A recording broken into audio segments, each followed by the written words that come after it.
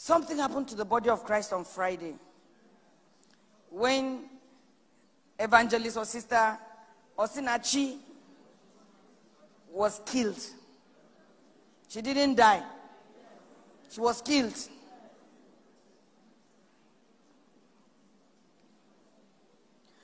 I want to talk to only men this morning. And I know when I talk, they will say, eh, you, you should talk about the women. No, I will not. It is my, my microphone. I am right here, right now. I will talk. You see, uh, men, men stand up. I want to see, let, let me see your faces. Stand up, stand up.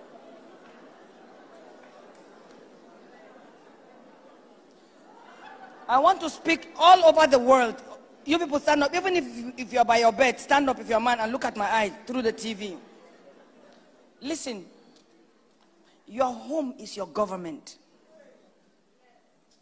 Your home is your government. You are completely in charge of your home. You are not in charge of your home as Iron Man. You are in charge of your homes as God. When God wanted to show himself to the world, there is no other way he could come into the earth to rule and reign. It would be illegal because he's God and he's a spirit. And so he put you in place to govern for him to govern for him. You are in your home to show your wife and your children who God is. Period. Anything short of that is you are you are you are walking out of purpose. Your purpose as a man, as a husband and a father, is to show your children and your wife who God is. That's all. So you how you treat your family is your own understanding of who God is. When you are sleeping with other women and chatting up other girls and being unfaithful, you are saying that's how God is. But you're a liar. The Bible says, let God be true and all men be liars. When you beat your wife, you are saying God beats. And the Bible says God does no evil. There is no evil with God. And so in the government of God, He is in charge. And all He does for us is goodness. When we sing, we say, Your mercies are good, your, your faithfulness is every day, and all of that. Don't we sing that? So a man is supposed to be good every day, supposed to be faithful every day, supposed to be kind every day. And I know some of you are blessed with such men. When you have a good man, you are in heaven.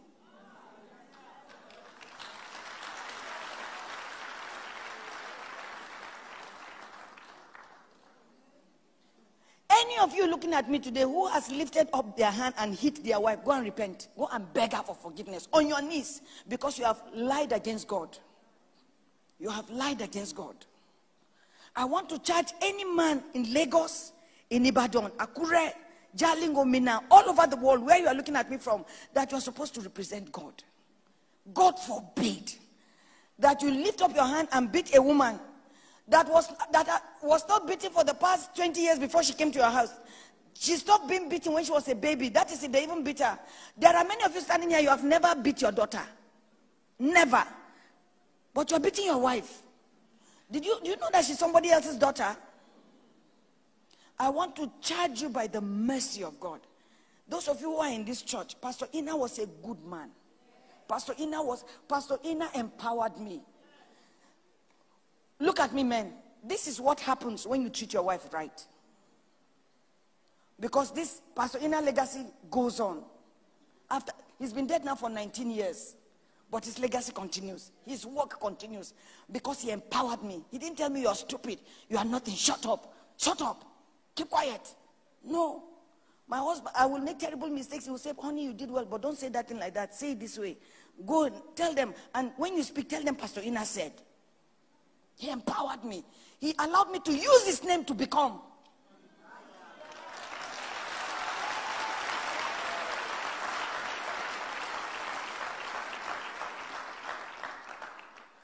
On behalf of your wives this morning, I beg you. I beg you, be kind to your wife. I heard that this man beat his wife. He would beat her and ask the children to join him to beat her. He beat her to a coma until she died. I beg you in the name of the God we serve, be God to your, to your family. Be the representation of God. I plead with you. You may be seated. Thank you. Thank you. So, this is what this vow means for better or for worse, in sickness and in health, for richer or poorer. The people who wrote that, those vows were under the anointing of the Holy Spirit. They are beautiful vows. But let me explain where the better and for worse is. And I want you to hear it as from the mouth of the senior pastor of Family Worship Center. That the worse does not generate from inside the house. That that worse was not mean, did not mean that no matter what I do, no matter what I say in the house, you do it. No, that's not what it meant. It meant that the bad that will come from outside that we cannot control, no matter what it is, we will go through it. But the evil should not then be generated from within. Therefore, I say, any man beat you, leave. Leave. You say, Pastor, no, that's too radical. I've told you this story before. One day, Pastor Ina and I were married. When we, when we first married, we were quarreling, and I was pregnant with Blessing then. We were driving from beauty school. I used to go, I did beauty school, cosmetology. We were fighting. We were arguing in the car. We were so broke, so everything was tight. We used to quarrel over 25 kobo. It was not funny. One of the days on the highway, we borrowed one somebody's beetle. And we were driving past. Now got angry and hit the car. Boy, it went full. It almost hit the median. I kept quiet because here was I very pregnant. You know what? I kept quiet. He talked, talked, talked. I didn't say a word again because I saw my life was going. When we re- went home, I cooked, we ate, we slept. The next morning, he went to work. When he came back, he didn't see me. I was gone. You know why your husband has been beaten and beaten and beaten? It's because you have been hiding it. That one time, I left the house. He looked for me for one day, two days, three days. And then he began to pray. And I went and stayed in somebody, his friend's apartment. Didn't think I could ever go there. I went and stayed with the girl for days. And you know what? I exposed him. And when Pastor found out, he cried that day because he didn't know that what was happening around him then had entered him. Because you grow up seeing what your father does or uncles and all, and you take it, you think that is the right thing. He didn't know he had that capacity. That was the first time. Another time, we arguing again, he jacked me up and pushed me. Of course, my mouth runs, you know. Is there a woman whose mouth doesn't run? That's how we were made. We don't have power, but we have a mouth. God gave you power and gave us a mouth. God is a faithful God. He does things in just. He's a God of justice. He put your he put mouth in my mouth and he put power in your body, so that all the advantage will not be on one side. Imagine if I have the mouth and I have the power, you'll be dead. So I must have said something that got him. He jacked me and put me on the wall, and then in the process, he scratched me accidentally. When my husband, when the anger finished, you know, when your anger is up, your IQ goes down. When the when the anger finished and he saw the scratch, my husband went down and wept like a baby, and then started working at on himself. So Pastor Ina did not become a good man overnight. He he made one, two, three mistakes, and then he said, "No, I can't be like this," and he changed. We still quarreled and argued, but it never came like that. A man beat you once, you keep it, he will beat you again. Once you have beaten a woman, you will beat her again. You must look for help.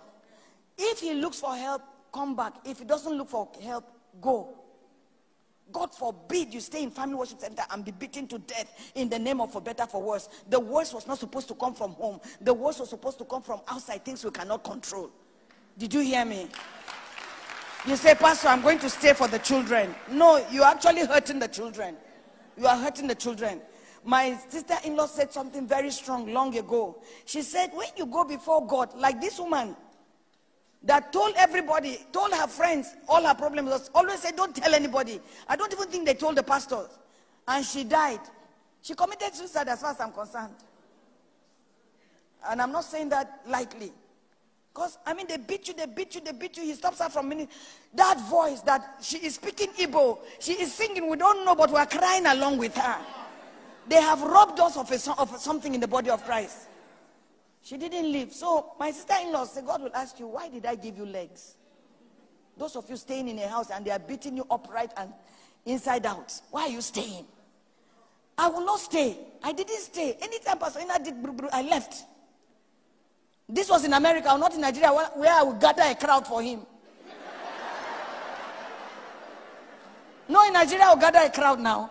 You remember when we started family worship center, we were fighting one day. I called the church. I said, "We are fighting. No, come and separate us." Pastor, Wilson, uh, what do you want to say? Uh,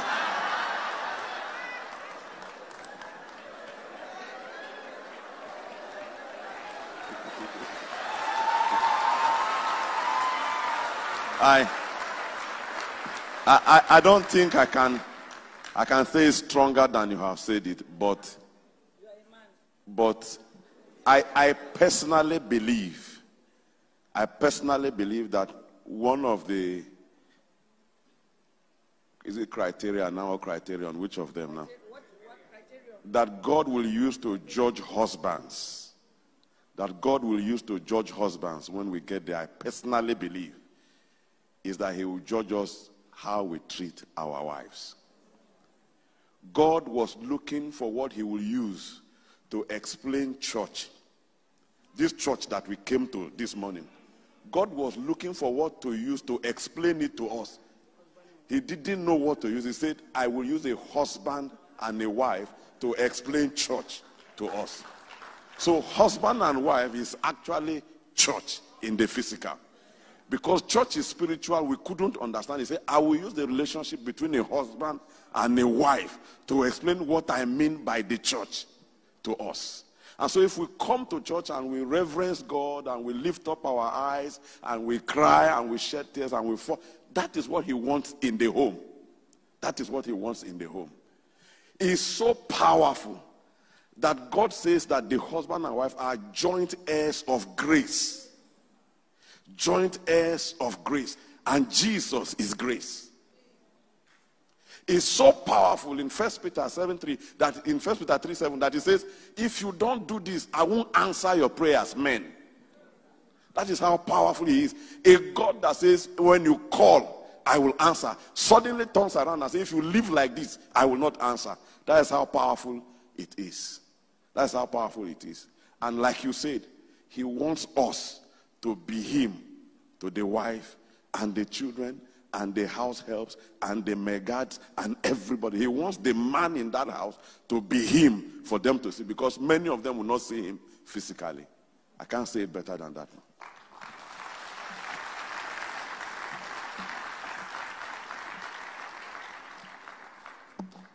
If you notice, I'm not putting condition that if your wife does right, because God loves us whether we do right or wrong. I don't know about you, but I love my children. Nobody who has children loves them because they are good or they are bad. You just love them. Isn't it so?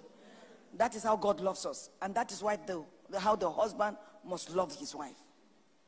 If you choose her as your wife, what you were saying is that, Father, this one is the one I want to take care of for you till I come. I will take care of this woman for you till I come. So don't stay in an abusive marriage. Look for help. Come to church, we will help you. Come to church, I will help you. I will use church money to help you. But you will not stay in a man's house to be beaten. Your papa beat you last when you were two, three, four years old. At the age of 25, 30, 40, somebody's beating you. There's no marriage in heaven. There's no marriage in heaven. Being married is not a guarantee. It does not make you any superior than anybody. In fact, he said if you are out of a marriage, stay unmarried. It's better to be unmarried. I lie down how I want on my bed. I eat what I want. I wear what I want. Nobody's telling me, do me this. I want pound pounded yam at 2 o'clock. Stand up.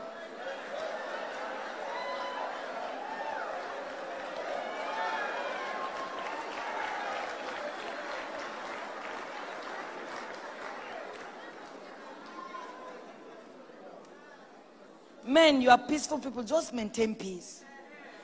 Give the woman the money. Just endorse. God gives us everything. The Bible says He gives us all things to enjoy.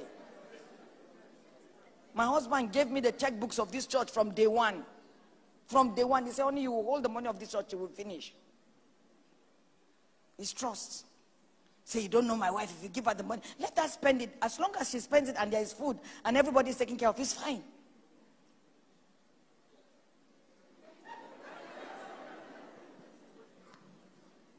And love is better than hate. Love is more powerful than hate. We will, we will take a moment of silence for Osinachi and for every woman that is being battered around the world.